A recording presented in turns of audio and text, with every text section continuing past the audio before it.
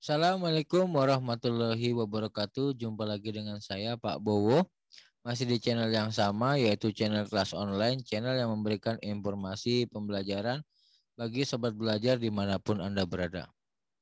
Pada kesempatan kali ini saya akan membahas materi tentang pembelajaran IPS masih di tingkat SMP eh, atau MTS. Biasanya kita membahas materi IPA Nah, sekarang saya akan mencoba membahas materi tentang IPS. Tapi sebelum saya membahas materinya, jangan lupa apa? Jangan lupa untuk subscribe, like, komen, dan juga share. Oke, langsung saja kita masuk pada pembahasan materinya. Materi kita pada kesempatan kali ini yaitu tentang dinamika penduduk. Apa yang dimaksud dengan dinamika penduduk? Dinamika penduduk ialah suatu perubahan keadaan penduduk. Jadi, suatu keadaan penduduk di suatu daerah itu senantiasa terus berubah, bisa bertambah dan bisa berkurang. Sehingga perlu kadang diadakan pencatatan ya, misalnya seperti sensus penduduk dan lain sebagainya perubahan-perubahan yang terjadi dalam suatu daerah atau suatu tempat, ya perubahan jumlah penduduk tadi itu dipengaruhi oleh beberapa hal. Di antaranya ada angka kelahiran atau natalitas yang biasanya ketika angka kelahiran tinggi maka jumlah penduduk akan ber, bertambah. Kemudian ada angka kematian yang mana ketika angka kematian tinggi maka jumlah penduduk akan ber, berkurang. Lalu ada migrasi atau perpindahan penduduk. Nah, untuk migrasi ini dapat menyebabkan pertambahan dan juga dapat menyebabkan pengurangan jumlah penduduk. Yang pertama adalah angka kematian atau angka kelahiran. Yang pertama adalah angka kelahiran atau kat. Yang pertama adalah angka kelahiran atau natalitas. Angka kelahiran atau natalitas adalah angka yang menunjukkan bayi yang lahir dari setiap seribu penduduk per tahun. Yang mana untuk menghitungnya kita dapat menggunakan rumus yang ini. Yaitu natalitas sama dengan bayi yang hidup di jumlah bayi yang hidup dibagi jumlah penduduk dikali seribu. Yang mana keterangan jumlah penduduknya itu atau jumlah bayi yang hidup itu adalah jumlah bayi yang hidup atau bayi yang lahir dalam kurun waktu satu, satu tahun. Yang mana jika angka kelahiran tinggi yaitu jika angka kelahirannya itu lebih besar dari 30 bayi per tahun. Jadi misalnya kalau satu tahun ada 40 bayi berarti angka kelahirannya tinggi.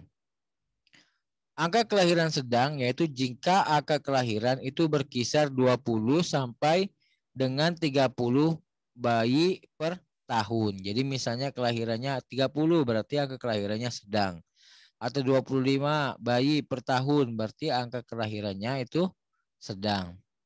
Lalu ada angka kelahiran dikatakan rendah jika kelahiran itu kurang dari 20 bayi per tahun.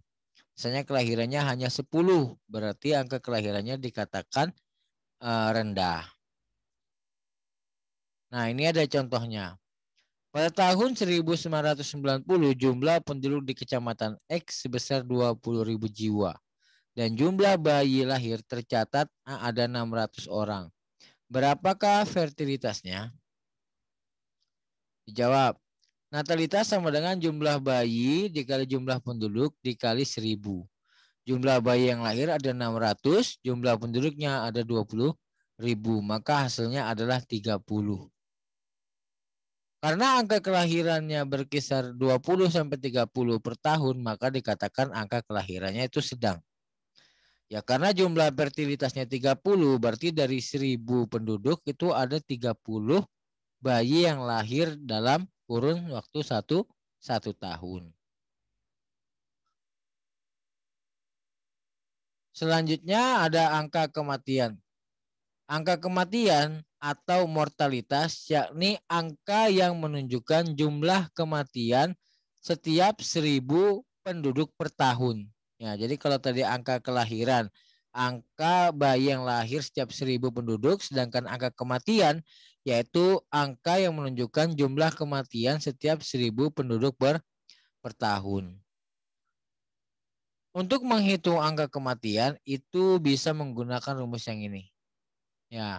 Jadi jumlah penduduk yang meninggal dalam dalam jangka waktu setahun dibagi dengan jumlah penduduk dikali seribu. Yang mana kategorinya mortalitas atau angka kematian tinggi jika kematiannya itu berkisar 18 orang per tahun.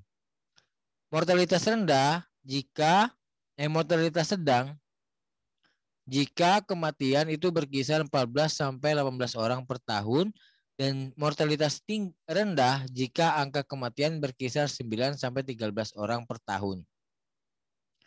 Jadi jika tinggi, jika angka kematian tinggi apabila kematian per tahun mencapai 18 orang lebih. Misalnya kematiannya ada 20 orang dalam satu tahun, berarti itu termasuk mortalitas tinggi. Ya, mortalitas sedang jika antara 14 sampai 18 orang yang meninggal dalam satu tahun. Dan mortalitas dikatakan rendah apabila angka kematiannya berkisar 9 sampai 13 orang per tahun. Contohnya, pada tahun 1990 jumlah penduduk di Kecamatan X sebanyak 10.000 jiwa dan jumlah penduduk yang mati ada 500 orang. Maka mortalitasnya berapa? Ya, jadi mortalitas sama dengan jumlah kematian, jumlah penduduk yang meninggal dalam satu tahun dibagi dengan jumlah penduduk dikali 1000. Jumlah penduduknya ada berapa? Ada 10.000. Jumlah yang meninggal ada 500. Berarti 500 dibagi 10.000 dikali 1000 sama dengan 50. Karena angka mortalitas berkisar lebih besar daripada 18 orang per tahun, maka dapat dikatakan angka kematian di suatu daerah itu sangat eh, dapat dikatakan bahwa angka kematiannya itu ting tinggi. Selanjutnya yang menyebabkan dinamika penduduk yaitu adalah perpindahan penduduk atau migrasi.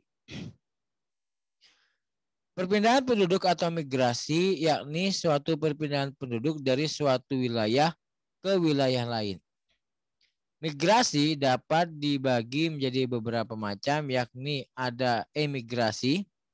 Emigrasi yaitu perpindahan penduduk dari suatu daerah ke emigrasi itu suatu perpindahan penduduk dari suatu negara ke negara lain. Ada juga yang disebut dengan istilah imigrasi, yaitu masuknya penduduk ke dalam sebuah negara tertentu.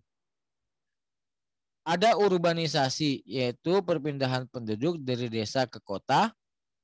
Dan ada transmigrasi, yaitu perpindahan penduduk antar pulau dalam suatu negara. Jadi perpindahan penduduk itu adalah atau migrasi yaitu perpindahan penduduk dari suatu wilayah ke wilayah lain.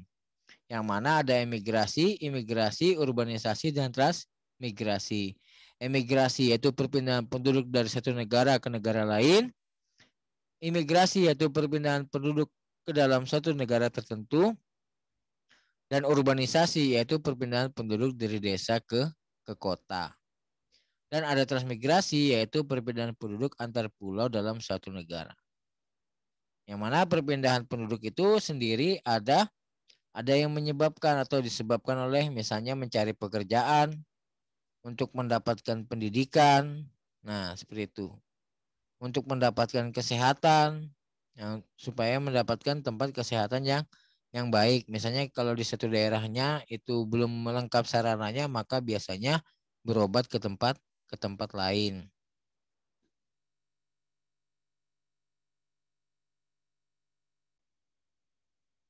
Selanjutnya ada faktor penyebab migrasi. Faktor penyebab migrasi di antaranya yang pertama kurangnya lapangan pekerjaan. Jadi banyak orang yang melakukan migrasi tujuannya untuk mendapatkan pekerjaan. Jadi jika di daerahnya itu kesulitan mencari pekerjaan, biasanya orang melakukan migrasi atau pindah untuk mendapatkan pekerjaan.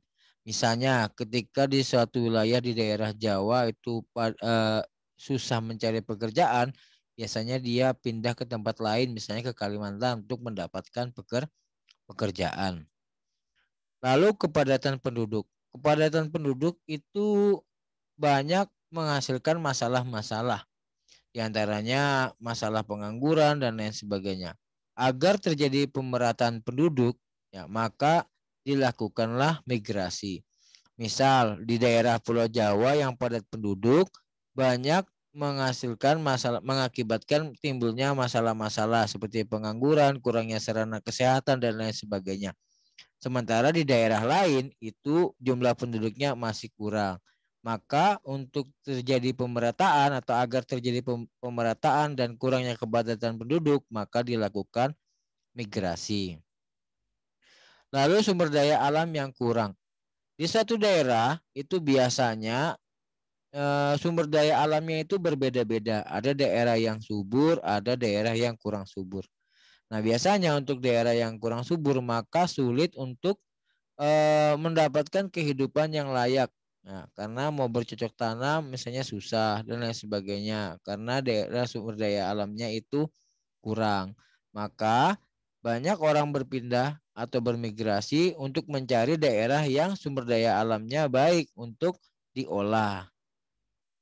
Lalu ada juga yang bertujuan untuk memperbaiki taraf taraf hidupnya. Ya misalnya ketika di daerah asalnya dia memiliki kesulitan di bidang ekonomi, maka dia bermigrasi dengan tujuan untuk memperbaiki kehidupannya. Ada juga yang memiliki tujuan untuk melanjutkan pendidikan. Misalnya ketika kalian lulus SMA, lalu kemudian mau melanjutkan ke perguruan tinggi, perguruan tingginya tidak ada di daerah tersebut, maka melakukan migrasi untuk melanjutkan pendidikan. Nah, dampak migrasi. Dampak migrasi itu ada dampak positif dan ada dampak negatifnya. Dampak positifnya yaitu tersedianya tenaga kerja di tujuan migrasi. Jadi ketika seseorang tujuannya untuk mencari kerja, maka eh, pasar tenaga kerja itu terbuka luas sehingga ketika perusahaan membutuhkan tenaga kerja itu sangat mudah untuk mendapatkan tenaga kerja. Berkurangnya pengangguran di desa. Ya, kepadatan penduduk dapat menyebabkan permasalahan yaitu pengangguran. Dengan adanya migrasi dapat mengurangi pengangguran yang ada di desa tersebut. Meningkatnya kesejahteraan dengan adanya uang yang dikirim dari kota. Ya, dalam hal ini ketika seseorang mendapatkan pekerjaan, maka kehidupannya akan lebih baik. Ya, kehidupan di desanya atau tempat asalnya juga akan lebih baik. Dampak negatifnya meningkatnya pengangguran di perkotaan. Terkadang orang yang melakukan migrasi itu tidak diperhitungkan terlebih dahulu. Misalnya dia tidak mempunyai keahlian, asal saja datang ke perkotaan untuk mencari pekerjaan. Ternyata di perkotaan sendiri dia susah untuk mendapatkan pekerjaan. Akibatnya menumpuk ya menumpuk pengangguran yang ada di perkotaan yang dapat menghasilkan permasalahan-permasalahan baru ya di antaranya daerah-daerah yang kumuh dan juga tingginya tingkat kejahatan. Lalu timbulnya kerusakan lingkungan akibat dari kegiatan manusia. Dan juga timbulnya konflik antar warga asal dan pendatang. Timbulnya kerusakan ini akibat ada kegiatan migrasi datang eh, kedatangan eh, or imigran tadi. Nah, itu dari kegiatannya dapat merusak merusak lingkungan. Timbulnya konflik antar warga asal dan pendatang. Karena mereka bermigrasi dengan tujuan yang sama yaitu untuk mencari pekerjaan. Dan warga sekitar warga asal juga sama juga membutuhkan pekerjaan. Sehingga biasanya terjadi konflik atau persaingan. Belum lagi budaya yang dibawa dari tempat asal juga bisa jadi berbeda dengan uh, budaya di tempat mereka datang. Sehingga bisa terjadi perbedaan pendapat yang bisa menimbulkan adanya konflik antar antar warga yaitu antar warga asal dan juga pendatang. Bagaimana penanggulangannya? Yang pertama membangun fasilitas-fasilitas pembangunan sampai ke pelosok-pelosok negeri. Dengan demikian, ketika pembangunan itu meningkat, itu membutuhkan tenaga kerja, membutuhkan peluang kerja yang lebih besar sehingga uh, menghindari menghindari pengangguran uh, menghindari penumpukan pengangguran di daerah di, di daerah imig, imigrasi atau di daerah migrasi. Ketika pembangunan itu maju, maka peluang untuk mendapatkan pekerjaan juga lebih lebih besar. Sehingga ketika terjadi migrasi, orang yang bermigrasi itu tidak tidak menjadi pengangguran. Mengadakan pendidikan yang bermutu hingga ke daerah-daerah terpencil. Dengan demikian, orang-orang yang ada di daerah terpencil tidak perlu keluar untuk atau tidak perlu bermigrasi hanya untuk mendapatkan pendidikan. Jika pendidikan di daerah-daerahnya itu maju. Membangun sarana dan prasarana yang dibutuhkan hingga ke penjuru negeri, meningkatkan upah bagi pekerja yang ada di desa sehingga pekerja di desa tidak perlu ke kota untuk bermigrasi, serta memperbanyak lapangan pekerjaan di desa sehingga warga desa tidak perlu melakukan migrasi. Oke, dengan berakhirnya pembahasan tadi, berarti berakhir juga video pada kesempatan kali ini. Mohon maaf apabila ada kesalahan. Saya akhiri. Assalamualaikum warahmatullahi wabarakatuh. Jangan lupa untuk apa? Jangan lupa untuk subscribe, like, komen, dan juga share. Sampai jumpa di video berikutnya.